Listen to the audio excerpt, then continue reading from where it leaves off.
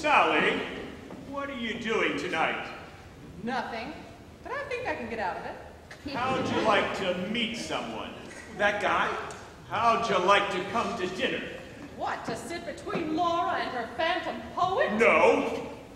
Well, yeah, how about it? Oh, I don't know whether I like that role or not. Oh, you'd love it, Sal. He's the best looking phantom poet you ever saw. He makes Zorro look like a zero. He's that good looking? What's he like? He's like a cross between Gregory Peck and uh, Stewart Granger. Hey, that ain't too bad. What's his name again? Stewart Peck.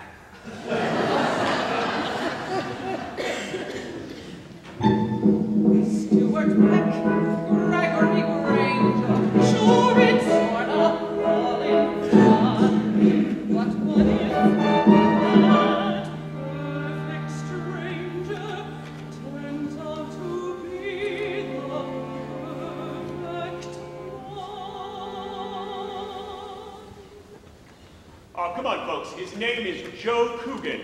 And you don't have to just sit there between him and Laura either. Oh, you mean maybe I can uh, flirt a little bit? No, a lot.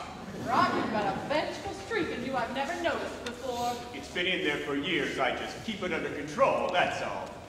Well, I don't know. With all the fish in the ocean, I don't like to try to hook one that got away from Laura. Well, don't wait too long. I had an aunt once waited so long for her ship to come in, her pier collapsed.